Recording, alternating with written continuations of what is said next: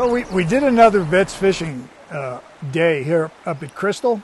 It, it's something that I've been involved in uh, for the six years that I've lived full time in Crystal. Doug, Doug Schwartz sets this up, and it, it's just great to have these guys come up here. I mean, these are the guys from the U.S. military, all branches of the military, Air Force, Marines, Army, and it's it's like the least thing we can do for them is to have them come up to this great fishery that we have here in Crystal Lakes.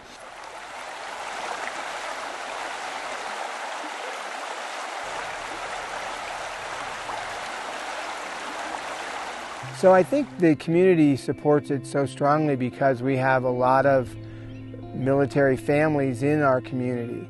Uh, donations come from all over the place. A lot of people from Boulder, Denver, Lakewood, Littleton, a lot of donations come in. But most of them have some ties to the military and ties to the event. We've had nothing but positive comments, positive feedbacks from the vets that have come here. Over and over again, they tell us that this is their favorite place to attend because of the not only the quality of the fish and the fishery, but the variety of different types of fishing we have here. We have stream fishing, float tube fishing, small pond fishing, big lake fishing, but also just the way that we take care of them with the, the food and the meals and the, the volunteers from the community who come out. And they not only donate to this, but they donate their time and they give, give a whole day to helping these guys out. And if you can cast to the outside of that seam, there's a drop off and you, you'll chance to do pretty good. Now we put fathead minnows in the lake and they'll run the shore. And that's why we suggested going with that uh, thin mint. If you cast back towards the shore and either run parallel to shore or bring it back out to you, you might be surprised what you'll find there. Now watch what happens if I break my wrist. Even look at the top of your tip. See how it loaded? You're a little quick. 1001, 1002.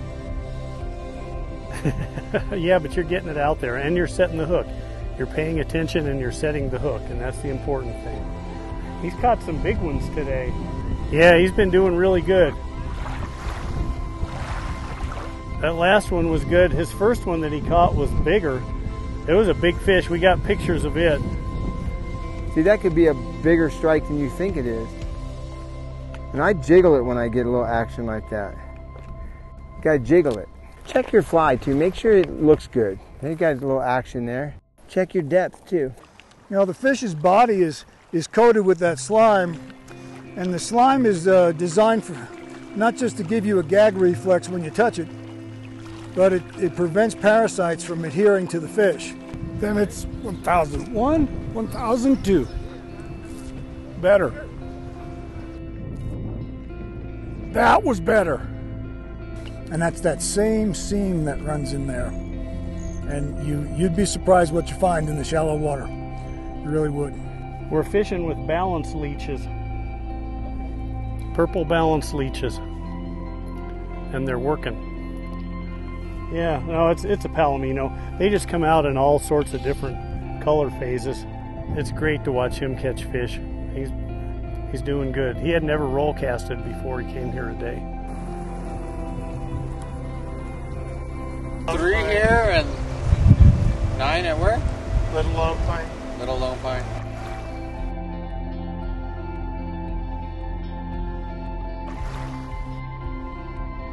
The fishing board sponsors the event and puts the event on. Uh, but as I said before, it takes so many people. It takes 23, 24 guides. It takes 15 or 16 volunteers. Um, so it's a it's a community event, really. For the six years that I've done this, I've had a different fly fisher, and, and you start to see the same faces coming back every year, simply because this is one of those landmark places you want to come to to fly fish. Yeah, I, I do this for a whole lot of reasons. My my father was a pilot in World War II with the Army Air Corps. So I really, really appreciate the fact that these guys do what they do and have done what they've done, guys and gals. And for me, it's just a way to give back just a tiny, tiny little sliver for what they've done for us. And it, it's rewarding. Yeah, it's rewarding from an, in an altruistic kind of a way, but it's also really rewarding to help them and, and to see, you know, especially when we have some, some folks that I've worked with who have really truly been damaged by their service, by things that happened to them. And, you know, falling out of helicopters and blow, being blown up and stuff, and to see what they can do and, and the, how they enjoy the day up here, it means a lot to me. I do it for them, but it is a, it is a very rewarding experience. The veterans have been coming up here for a number of years, and they've told us that this is one of their premier places to come and fish.